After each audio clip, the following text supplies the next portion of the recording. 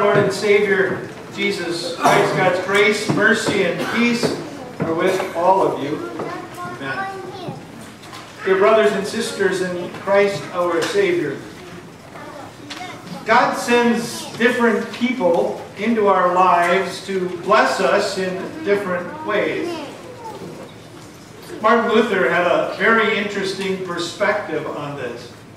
Luther said that God masks himself to intervene with humankind and to bless us. Really an interesting concept. God wants us to know Him, and He wants to bless us, but He can't just come to us in all of His power and glory. As sinful human beings, we could never stand before a holy God. It would literally kill us. So the mind-boggling reality is that when God wants to reveal himself to us, he does it by hiding himself.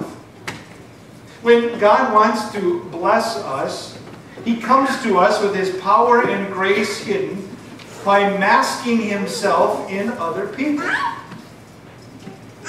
Right? God masks himself when he sends doctors and nurses into our lives to help take care of our physical needs and help us to be healthy physically.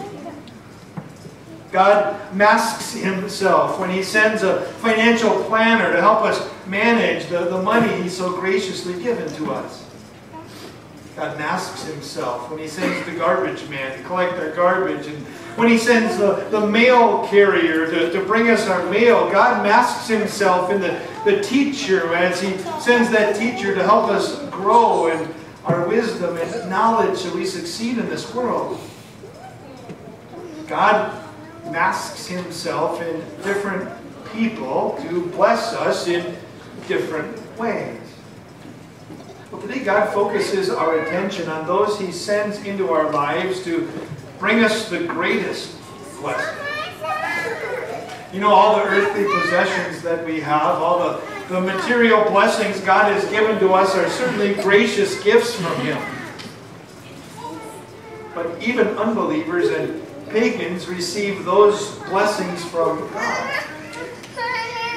Even if we were to have more than anyone, we they still wouldn't help us to stand before God.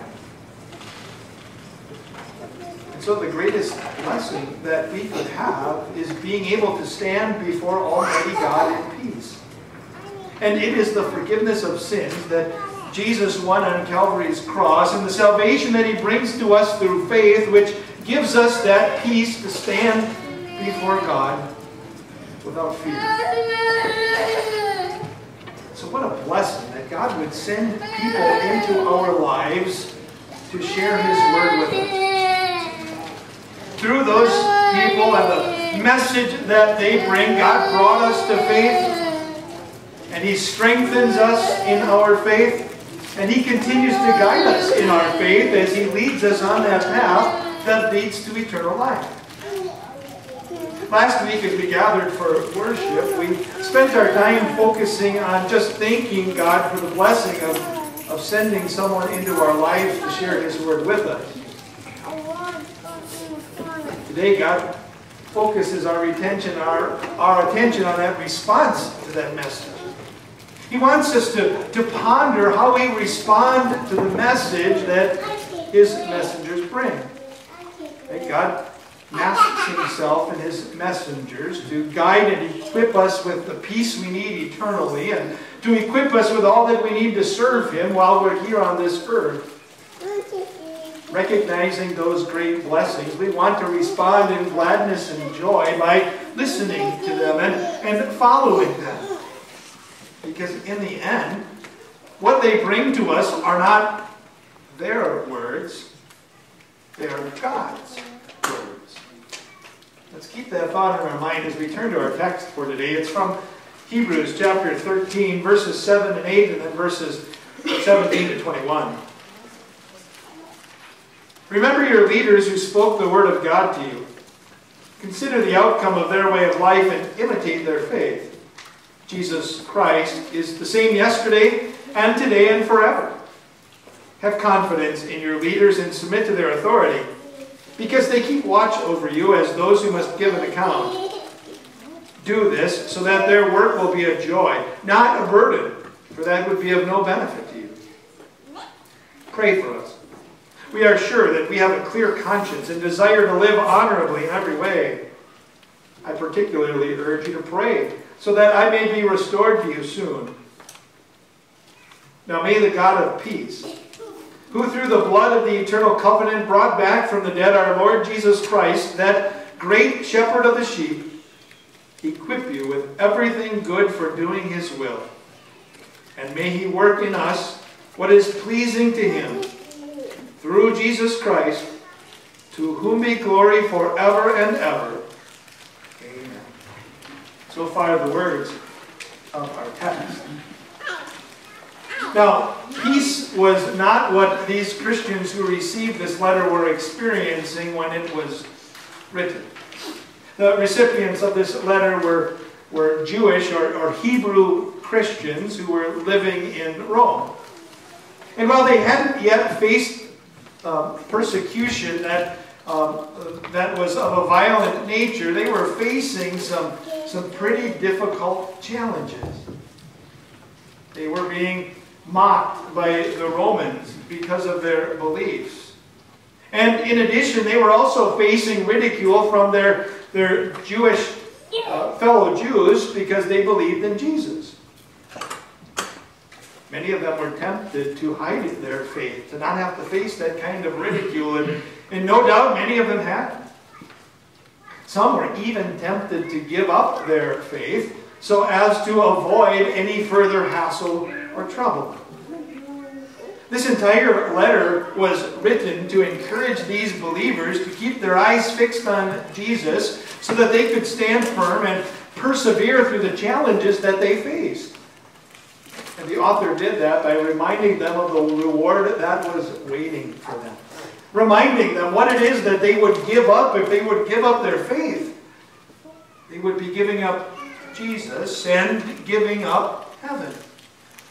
So in chapter 11, he recalled for them all of their forefathers, what many have called the great heroes of faith. All of those heroes of faith, men like Noah and Abraham and Moses and David, all of them faced tremendous persecution and, and opposition as they sought to follow God's will and serve Him with their lives. Yet all of them persevered through those challenges. They stood firm. They kept their eyes fixed on Jesus and they received the gift of eternal life that, that God so graciously gave them. Now, with all that in mind, the author starts our text by encouraging them to remember the leaders who had shared God's word with them. You see, while those great heroes of faith would be known through the stories that were told about them, they wouldn't have been known personally to these Christians. But the leaders who had first shared God's word with them were personally known to them. They could readily identify with them and their story. Maybe it was their parents who would be a leader who shared God's word with them. Or maybe an elder in the church, or, or, or one of the leaders who was very influential over the group. Remember your leaders who spoke the word of God to you. And then with that in mind, he goes on in his encouragement. Consider the outcome of their way of life. In other words, think about where they ended up when life was over. This is more than just saying, think about where their life went. He, he really takes them to the final outcome of their life. So that as these believers scan carefully the faithful life and the, the fearless death these Christians had lived, they would strengthen the weak Christians, and the strained Christians, Christians would be warned. Whether their death had come from being martyrs because of their faith, or if it, they had died of natural causes, the fact that they had fallen asleep in Jesus would be very influential, even especially as they were facing persecution. So remember your leaders, consider the outcome of their way of life, and then imitate them. They had stood firm and true to Christ despite the challenges they faced. They didn't waver in their faith or, or weaken as those challenges came their way. They stood firm. They focused on Christ, and they too are receiving the reward that God promised for all who believe in Him. Now, here's his point.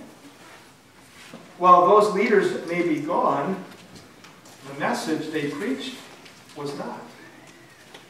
Even though they might have new leaders now, the message was Christ's and was eternally the same. What Christ had done for believers in the past, he would continue to do for believers in the present. The winds of the earth may shift the sand, the, the winds of time may shift the sand of the earth, but it could do nothing to the eternal Savior. He's always the same. He never changes in his care for his people or the way that he looks after them. So believers of every century have but one ground for their faith and one purpose in their life, and that's Jesus Christ. And so he could further his encouragement by saying, Now submit yourself to those who are sharing God's word with you now, those who are, are leading you right now. Because those who were true teachers of the word and staunch confessors of Christ were worthy of obedience and submission. They were God's gift. God was masking himself in these leaders to bring his message of divine peace through Jesus. These leaders weren't coming to further their own personal agendas or with their own hope for glory. They weren't speaking to try and prop themselves up and make themselves look great. They were simply there sharing the message God Himself had given. God had masked Himself in these leaders to equip them with His peace and to guide and direct them as they continue to go through their life. And so the Christians really weren't submitting to their leaders as much as they were submitting to God because these were God's words. You know, people in our day have a little bit of a hard time with leadership. Maybe that's because we've had so many leaders in the past who have, have failed us and haven't given us proper guidance and direction. I mean, I think about the way that most Americans will, will look at their government leaders one of the reasons might be because all of them seem to make great, big, grand promises that they, they not only don't intend to keep, but couldn't possibly keep. You start to wonder who you can trust. But it's not just government leaders people don't trust. You find people who don't trust parents or, or teachers or principals because they don't want anyone else telling them what to do. They want to do their, their own thing. You find that many will feel this way about employers or, or bosses or, or managers. So maybe we have a hard time with the message God shares with us today when He says, have confidence in your leaders and submit to their authority. Let's just remember a couple of things. Let's remember, first of all, that anyone in authority over us is God's representative that He sends to bring a blessing to us, even if they fail us at times. And even if they operate in ways that are different from the way that we would do that, he still wants us to honor and respect them. That's a, fourth commandment issue.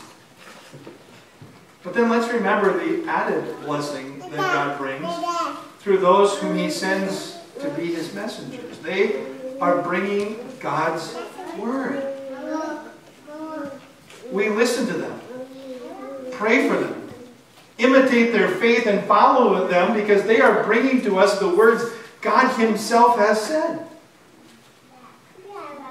When I stand before you and read God's Word, it is really as if God Himself were standing here sharing that message with you. No, I'm not calling myself God. And I'm not comparing myself to Him in any sort of way. Just recognizing the great privilege of, of sharing with you words that are God's words. Urging you to believe those words, not because I say them, but because God said them. You know, that really reminds us of the, the huge responsibility I have on my shoulders as pastor. This passage reminded me that one day I will stand before God to give an account for the way that I shepherded you as His representative. And for the message I proclaimed to you as His messenger. This reminds me of the awesome responsibility I have of proclaiming God's Word in all of its truth. Please know, as your pastor, I take that very seriously.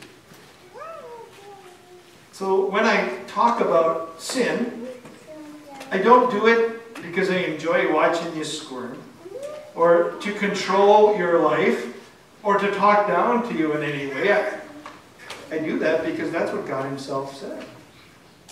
And when I talk about the death and the hell that we deserve because of that sin, I don't do that to, to try and rule you with fear or be heavy handed. Those are words God Himself has said. God's the one who sets the rule for what is sin and what isn't sin. It's not for us to change that. We couldn't even if we tried. And God's the one who set death as the, the, the, the payment that we deserve for the sins that we commit. I share that word with you to help you recognize your sin and to know what you deserve so you can turn from that sin to the solution that God Himself provided in Jesus. So when I share with you the, the forgiveness that Jesus offers through His life, death, and resurrection, it's not that I'm just being soft or letting you off the hook. That's what God Himself said. And when I share with you, because of, of Jesus' life, death, and resurrection, heaven is open and God is waiting to welcome all who believe in Him. It's not that I'm making some promise I may or may not be able to deliver on. That's what God Himself said. When I share with you that no matter how big of a sin you've committed, no matter how many times you've done it or how long you've been committing it, that it's forgiven in Jesus. I'm not just making a wish or offering some false hope. That's what God Himself has said. Listen to that message. Trust it. Put your faith in it. Not because I said it, because those are God's words. I mean, just think about what kind of peace it brings to you to know that those are God's words. That means I'm not up here saying, well, you might be forgiven, or I think you got a pretty good chance of heaven if you keep going on the path you're on, or or God would seem pretty favorable. This is God saying, when you confess your sin, He is faithful and just and will forgive that sin. This is God saying, whoever believes in me will live with me eternally. So we can stand up here and confidently say, you are right with God you have forgiveness for your sins and can be absolutely confident of your salvation. Not because I said it, but because God Himself has said that. God just masked Himself in me to be able to share that message with you. It's the same thing when I tell you that now, as God's children, as you leave His house of worship today, you have the great privilege of going out to use all of the time and the talents and the treasures that you have to further His kingdom and carry out His work. They don't talk to you about offering so I can build my own kingdom. I don't urge you to, to use your abilities and your talents to serve one another with God's Word because I'm pushing my own big agenda so I can pack my resume for some time in the future. I don't urge you to use your time to, to serve God and, and to proclaim His Word to other people, to put a feather in my own cap. Those are God's words. That's what God wants for you. I share that simply because I want you to be able to honor God in the way that you live and, and follow His will. I want to be able to help you say thanks to God for all that He's done for you in Jesus. And give you that great privilege of going out and using what God has given you to carry out the work that God wants each one of us to be carrying out, which is to be his witnesses to our world. God masks himself in different people to bring different blessings into our lives. While he wants us to honor all of who are in authority, be especially thankful for those God sent to, to, to share his word and, and ponder your response to that message. Honor them. listen to them. Respond by following that message. Trust it and take it to heart. Because they don't come to you for their good or their own benefit. God sends them for your benefit. And God sends them to you. Not with their words, but with God's words. Maybe treasure that word and be thankful to God that He continues to guide and direct us and equip us for service now and with His peace eternally.